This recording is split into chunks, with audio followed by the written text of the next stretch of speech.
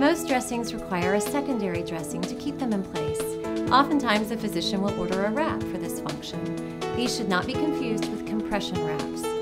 As with all of the information we provide in advanced tissue videos, you should consult the manufacturer or your physician for brand-specific instructions. Flex the foot to a 90 degree angle. Start wrapping at the ball of the foot and wrap over the top of the foot twice, wrapping upward, covering the heel without any.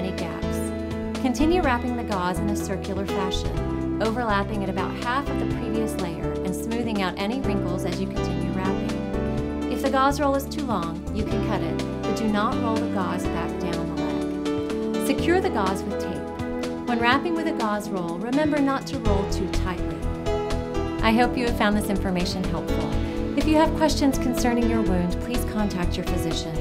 For additional resources, including helpful videos and educational materials, visit advancedtissue.com.